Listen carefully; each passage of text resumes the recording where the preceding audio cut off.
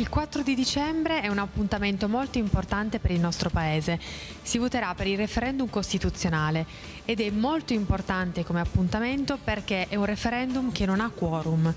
Quindi invito i cittadini a chiedersi qual è la posizione che vogliono prendere, qual è il futuro che vogliono dare al nostro Paese, quali sono le cose che ritengono importanti per le istituzioni del Paese e andare a esprimere un proprio voto. È importante non delegare ad altri questa scelta, è importante partecipare.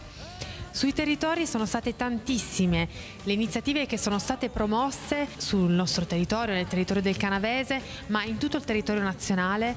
Ci sono state tantissime associazioni e tantissime eh, entità che hanno capito qual è l'importanza di questo momento e hanno cercato eh, prima di tutto anche le istituzioni territoriali, quindi prima tra tutti i comuni che hanno cercato di organizzare anche sul territorio dei confronti, i sindaci che ci hanno messo la faccia in un senso o in un altro, sono anche molti i sindaci infatti